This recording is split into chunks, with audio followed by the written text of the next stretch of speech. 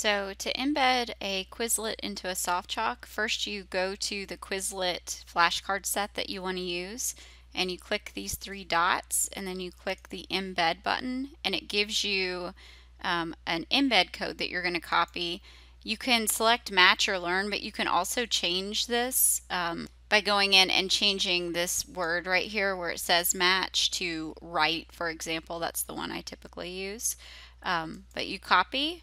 and then go to your SoftChalk and